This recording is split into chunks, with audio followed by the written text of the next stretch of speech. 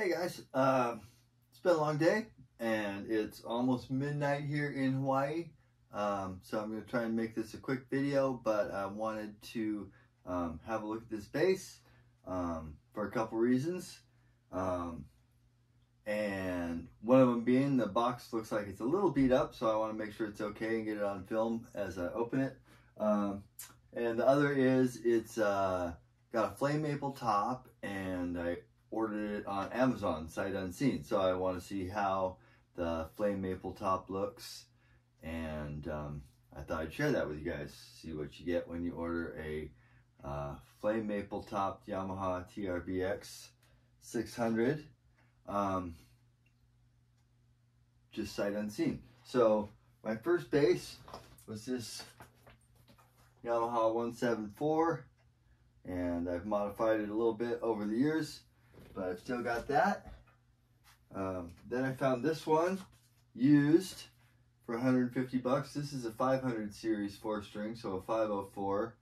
Um, and it was broken and filthy, and I fixed it and um, had a broken switch, fixed that, polished it up and cleaned it up. The frets were gr literally green. Got some new strings on it, and now it's a great bass. Um, but it it was never my favorite color. It's a pretty color and I like it, but it was just never quite for me.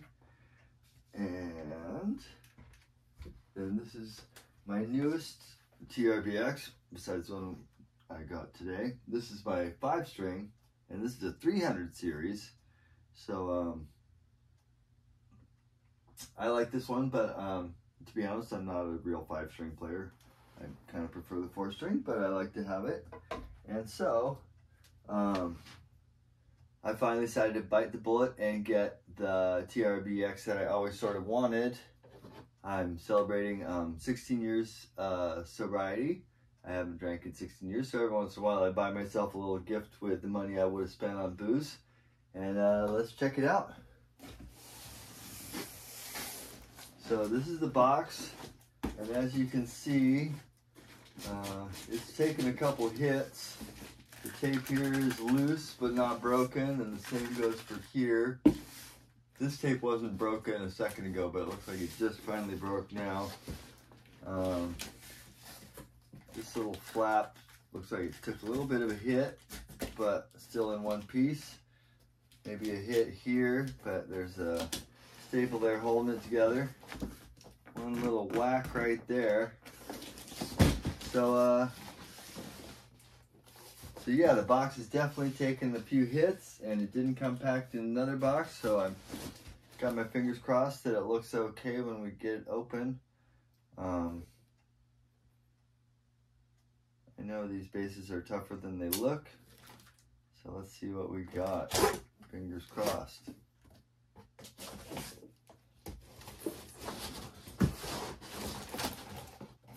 That opened easy enough. We've got a little basic packet with our Allen wrenches and our Yamaha manual. I've seen that before. And looks like it's actually face down, which is probably pretty good. And it looks like the neck is in one piece, which is really good. And so are the tuners. So I'm assuming everything else is okay. Whoa, and there goes the camera. Sorry, guys. Just turning it back around.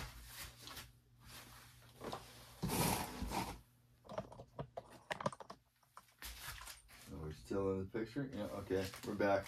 Sorry about that. And let's see what we have here. All right. Hey. It's got some nice stripes. I don't know if you can see them too well, but they are in there and they're subtle, which I'm glad about, but they're all across the whole bass. And some of the ones I saw recently on Sweetwater had big patches where they didn't have the stripes. Try and get that in there. It's nighttime here, and course, this bass is a little dusty, but I don't know if we're getting any of that in there or not, but we'll just do some angles. And like I said, looks like the neck's just fine. And it's got sort of blacked out hardware, which I knew. This bass is pretty much supposed to be the same thing as the 500 series, except, ooh, that's a bad noise. Um, it's got a maple top, and you can see actually a pretty visible line right there. It's supposed to be like that, where um, you can see through the translucentness of the finish. So you can see where the maple is, this part here, and then this part here is the alder. Got an alder back, and actually the back is translucent too. But it's subtle because it's all in black, so, you know, most people are not going to even know. Let's take off the little plastic piece.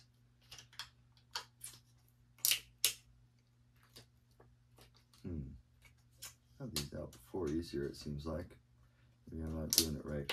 Bend it that way. Come on. There it goes. Alright, so I know what the knobs do. We've got volume, blend, and our three band equalizer. And this is our passive active switch, just like on the 500 series. So basically the only difference between this bass and the 500 series is supposed to be the materials in the body and supposedly they've tuned the preamp to sound slightly different. So we'll see how that sounds. We'll do a demo pretty soon. Um, give it a try. Playing a few songs, but I did want to unbox it and make sure it's in one piece, which it is, and it's pretty, and it has lots of nice tiger stripes across that flamed maple, so I'm happy about that, considering I didn't know what it would look like. And they are subtle, but I like that too. And there we have it. Hey, you guys, um, I'll catch you later. Have a great night, or day, or whatever. Aloha.